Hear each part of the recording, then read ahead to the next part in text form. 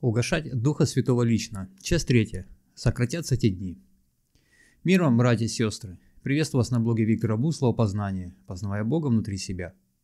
Мы уже посмотрели, как нам не угошать Духа Святого именно лично. На примере Первой Церкви и в наше время. Почему лично? Потому что жизнь и взаимоотношения с Духом Святым сегодня полностью зависят от выбора самого человека. Он может принять и жить с Духом Святым и силой Его – а может и отказаться от помощи Духа Святого, поэтому лично. Сегодня мы посмотрим, что будет происходить с теми людьми, кто будет строить взаимоотношения с Духом Святым, кто не отказался от силы Духа Божьего. Мы не будем говорить о тех, кто отказался от Духа Святого. Мы, мы не будем тратить наше время. Об этом написано и в Библии. Принять и не принять Духа Святого. Строить взаимоотношения с Ним это принять помощь и силу Духа Святого и не угошать Духа Святого лично, то есть плоды пребывания Его в нас и дары служения для Церкви. А это присутствие Его в нас, освящение нас, ведение нас, свидетельство Его в нашей жизни и через нас этому миру. Если человек не хочет меняться, изменить свою жизнь от пустых и греховных дел, то ему Дух Святой не нужен, ему не нужна сила Святого Духа. Если человек не хочет применять дары служения Святого Духа в своей жизни, то есть жить и служить в и для церкви, то ему Дух Святой не нужен, ему не нужна сила Святого Духа. Задайте вопрос Богу, где мое место в твоей церкви? Мы много говорим и будем говорить о Боге, Иисусе Христе и Духе Святом на нашем канале. Следите, подписывайтесь на канал, чтобы всегда быть в этом увлекательном путешествии. Поздний дождь Духа Святого. Перед тем, как говорить, что будет происходить с Духом Святым в последнее время, скажу, что на земле еще ожидается всем христианским миром поздний дождь Духа Святого. То есть на земле еще ожидается большое излияние Духа Святого, когда много людей придет к спасению. Так вот, в конце времени, которое писал еще апостол Павел, в послании к Римлянам 1 глава и втором послании Тимофею 3 глава, он писал, что те люди, кто отказался от Бога, хотя он делал явным свои дела. Откроем и посмотрим более детально послание к римлянам 1 глава, стихи с 28 по 32. «И как они не заботились иметь Бога в разуме, то предал их Бог превратному уму делать непотребство. Так что они исполнены всякой неправды, блуда, лукавства, корыстолюбия, злобы, исполнены зависти, убийства, распри, обмана, злонравия, злоречивы, клеветники, богоненавистники, обидчики, самохвалы, горды и изобретательны на зло, непослушны родителям, безрассудны, вероломны, нелюбовны, непримиримы, немилостивы. Они знают праведный суд, суд Божий, что делающие такие дела достойны смерти. Однако не только их делают, но и делающих одобряют. Послание к Римлянам 1 глава, стихи с 28 по 32 принять Бога как Бога и не угошать Духа Святого лично. То есть люди мира, кто не принимает Бога как Бога и делают непотребства. Но с течением времени эти непотребства стали еще более сильными в этом мире. То есть мир предлагает это сделать нормой поведения, что постепенно и происходит. Например, крестолюбие. Раньше это можно было сказать про отдельных людей. Сейчас все делается за деньги, взятки, откаты – и этот мир с этим соглашается. То есть это считается нормой. Еще пример слова «распри». Распри, раздоры. Раньше можно было сказать такое про человека. Сейчас это происходит массово, через телевизор, соцсети. И уже считается норма, то есть принимается человечеством. И посмотрим на такие слова, как злонравие. Всегда думает о других самое плохое, сплетничает, наговаривает на других. Сейчас это становится нормой нашего общества. Посмотрим слово «вероломный». Это когда, ни, это когда никогда не исполняют обещанного. Злоупотребляющие чужим доверием, неприменимы, непримиримы. Немилостивы. Это безжалостные, не проявляют доброты и милосердия, беспощадны. Я уже не говорю за непослушание родителям время и возможность покаяться или угошать Духа Святого. Но, братья, сестры, это не новость. Мы должны быть, быть к такому, мы должны быть готовы к такому повороту событий.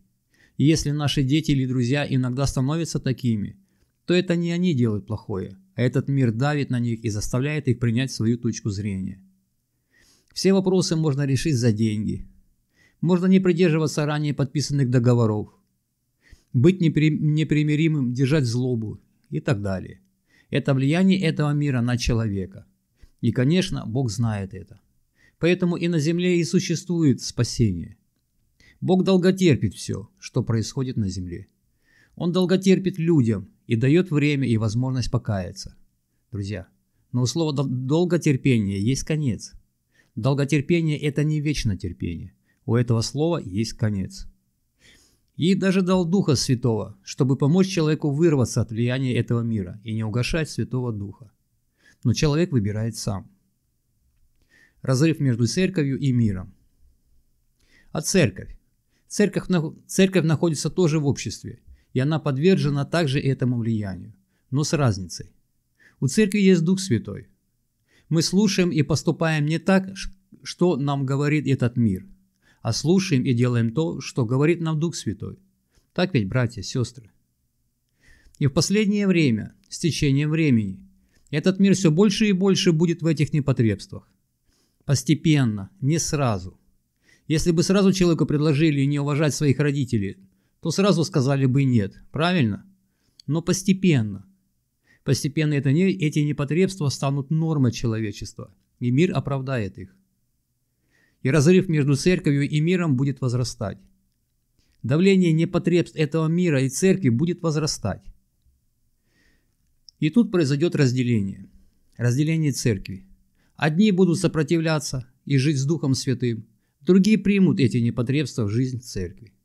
Одни будут сопротивляться и жить силой Святого Духа, другие откажутся и скажут, что им сила Духа Святого не нужна. Угошать Духа Святого и и так все хорошо. Все ожидают, что будут физические проблемы, но и это будет. Но это не самая большая проблема верующих людей, а именно рост, оправдание и давление мира на церковь. Принять условия и непотребства этого мира, описанные апостолом Павлом. Оружие сатаны против церкви. И сегодня это уже происходит, как уже и начало происходить и во времена Первой Церкви. Почитайте послание Иуды. Так так и нас не миновало это.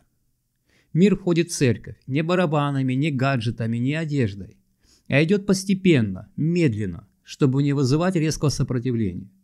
Входит неправда, блуд, лукавство, корыстолюбие и злоба, зависть, убийство, распри, обман, злонравие. Идет постепенно злоречие, клевета, обиды, самохвальство, гордость, изобретательность на зло, непослушание родителям и так далее. Просто откройте сами послание к Римлянам, первую главу, вторая половина. Мир входит через отдельно взятого человека, медленно, постепенно, чтобы не вызвать сильного сопротивления. И самое первое оружие, оружие сатаны и этого мира против церкви – это отказ от Духа Святого. Человек сам не в состоянии сопротивляться соблазнам этого мира. Ему нужен Дух Святой сила Духа Божьего.